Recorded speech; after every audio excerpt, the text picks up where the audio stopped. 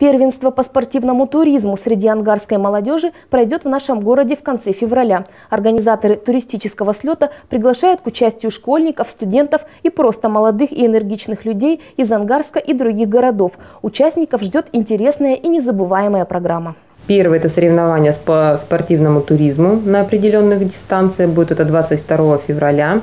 Второй этап соревнования также по спортивному туризму по другой уже программе 23 февраля.